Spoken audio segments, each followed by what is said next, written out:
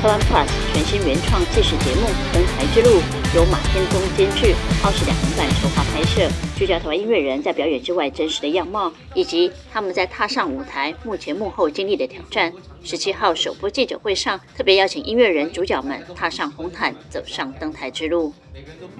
像我们这样的乐团，像朋克团，基本上没有团是可以自给自足的。但如果把它只可以，我觉得其实大家都可以。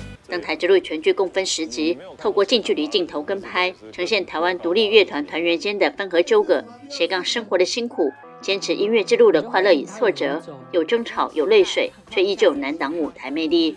舞台就是音乐的灵魂栖息地，就是我们不管是在录音室或在家里做了怎么样的作品，到舞台上来才是真正跟呃听众最直接沟通的方式。对，就是像比如站上舞台，你就有光嘛，然后大家就会看到你。然后可能不管你是石头或是哦你是水晶好了，那站上去都会发光，大家都看得到。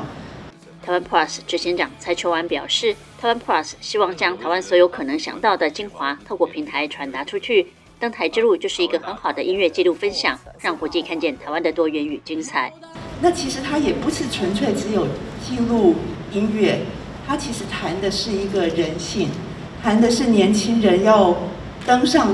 台之前那一段准备的过程，登上台之后的心路历程，那上了台之后下台后的过去，那我觉得有好多好多的东西。如果以说故事的方法来看的话，那台湾这么一个小岛，为什么能够有这么多多元的东西能够在这里呈现？那我就觉得，那这样台湾 Plus 责无旁贷，我们必须要去说这个故事。